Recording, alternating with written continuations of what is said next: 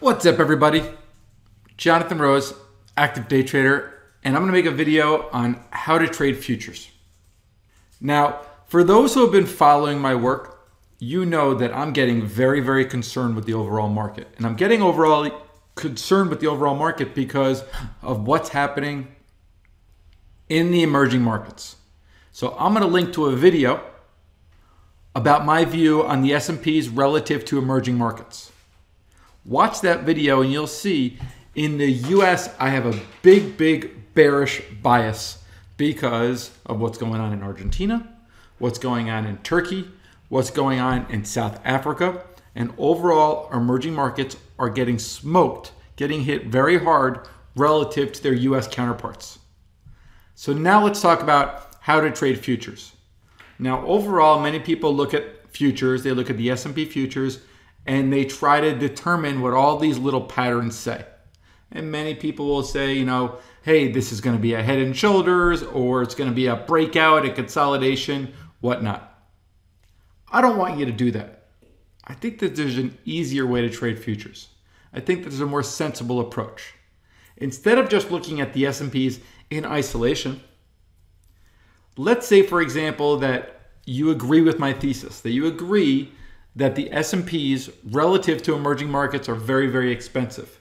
So instead of looking to buy and sell, trade the market from two sides, maybe we're only looking to sell on opportunity. Now we have to ask the question, okay, cool. We have an opinion. We're only going to sell. How do we find a trade? That's when I want you to start thinking about things from a relative value standpoint. Here's what I mean. Don't just look at the S&P. Let's look at the S&P relative to something else. So in Thinkorswim, I just hit this beaker, I scroll down, and I'm going to do a little comparison. Let's do a comparison, and we can do a comparison to any highly correlated instrument. Let's use the Dow. Dow S&P, popular spread, many people trade it. Okay, apply, okay. Here's what it looks like. Let me put it on a daily. Let's get some more data. And you'll see by putting it on a daily, I also put it on relative change by percentage. These things are really, really, really highly correlated. Okay? It looks like the Dow trades expensive to the S&P. Then it catches up. They're trading pretty much the same. And right now, relatively, the Dow is a little bit more expensive to the S&P. So, instead of selling the S&P, maybe you want to look to the Dow. But you can go even further. Let's add some other instruments. Not only do we have the Dow, what about if we add the Nasdaq? And we look at the Nasdaq relative to the S&P and also relative to the Dow. Throw on the Russell as well, RTY. Okay, apply, okay. And now we have a lot of lines on the chart, but if we look at the pink, which is gonna be the Dow, the yellow is gonna be the S&P. Let me take off the Dow just so it presents a little bit more clearly. And here's what it looks like going back to October 2017. And we can start to see relative to the S&Ps, the Russell and even the NASDAQ is expensive relative to the other instruments.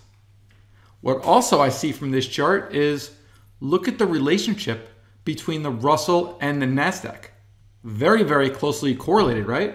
So let's take away the S&Ps and let's just look at NASDAQ and Russell. NASDAQ and Russell here, they broke apart. Definitely a good trade opportunity. You see they come right back together. Haven't really broken apart here. They break apart, come back together. But right here, you'll notice the NASDAQ is expensive relative to the Russell. We already know that the NASDAQ and Russell are both relatively expensive to the Dow and the S&Ps. If anything, the S&P is the cheapest of the four indices, of the four major indices. So, what I like to do and how I teach how to trade futures, how I trade futures, the easiest and most conservative way while still keeping yourself in position to make a whole bunch of money if you're right. If you want to get short something, don't sell the S&Ps. Don't sell the Dow. I wouldn't sell the Russell either. If looking to get short, consider getting short the NASDAQ because the NASDAQ is the most expensive relative to the others. Again, if you share the view that I have that the S&P's US is very expensive relative to emerging markets.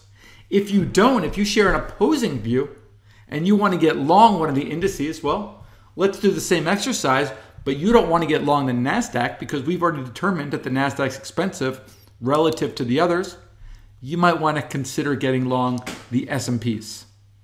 And that's having a plan, trading your plan. And the advantage is it uh, doesn't allow you to trade the S&Ps to buy and sell, to buy and sell. Because if you're doing that, you're really not letting the darn thing move. You're finding what's relatively expensive and what's relatively inexpensive. Try that out, guys. I think you'll find you have a lot of a lot of success with that approach. Thanks, Jonathan, active day trader.